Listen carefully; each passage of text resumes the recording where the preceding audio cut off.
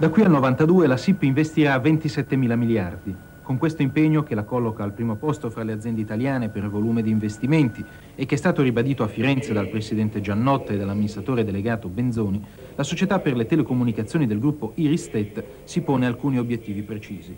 Aumento degli abbonati dagli attuali 19 milioni a quasi 23 milioni e mezzo, il che vorrebbe dire un allaccio telefonico nel 90% delle famiglie italiane sviluppo delle centrali elettroniche, della telematica e dei nuovi servizi come la trasmissione dati o il facsimile. Forte crescita nel mezzogiorno dove sarà concentrato il 35% delle risorse. 5.000 miliardi saranno destinati a migliorare la qualità del servizio, oggi ritenuta inadeguata soprattutto nelle grandi città. Fra l'altro dovrebbero ridursi drasticamente i tempi d'attesa per i nuovi allacci, dai circa 4 mesi di oggi a meno di 30 giorni.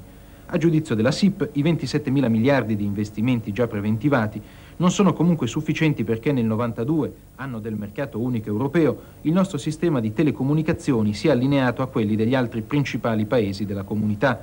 Occorrono altri 10 mila miliardi, 5 mila di finanziamento pubblico, 5 mila a carico dell'azienda. Vogliamo poter continuare a finanziare questo programma di 5 mila miliardi con i tradizionali canali di finanziamento, che sono aumenti di capitale, attraverso l'azionariato privato e attraverso l'azionariato pubblico, il ricorso a capitale di prestito, il ricorso all'autofinanziamento, in parte attraverso ulteriori miglioramenti di produttività e in parte, data i costi maggiori di un programma siffatto, attraverso adeguamenti di tariffe comunque inferiori al tasso di inflazione.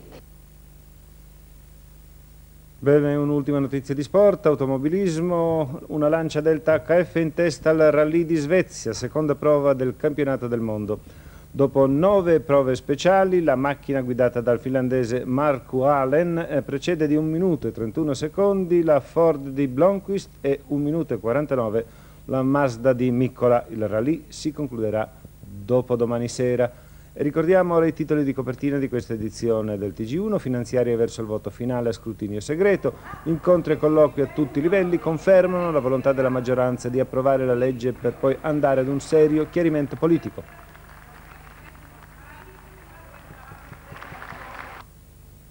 Cossiga e Goria hanno celebrato i 40 anni della Carta Costituzionale con un omaggio ai padri della Costituzione della Repubblica. alla coscienza stessa dei partiti Roma è un crocevia della diplomazia internazionale. Il presidente egiziano Mubarak espone il suo piano di pace per il Medio Oriente. Il segretario alla difesa americano Carlucci parla del dopo euromissili. Flessione anche oggi della borsa. Il presidente della Consob, Piga, ascoltato al Senato dalla Commissione Finanze. In Belgio De Benedetti apre un'azione legale contro le vendite di azioni della Société Générale. Inquietanti interrogativi dopo l'episodio della ragazza milanese aggredita in una stazione del metro. Bene, buon proseguimento di serata con i programmi di Rai 1. Vi ringrazio di averci seguito sin qui. Buonasera.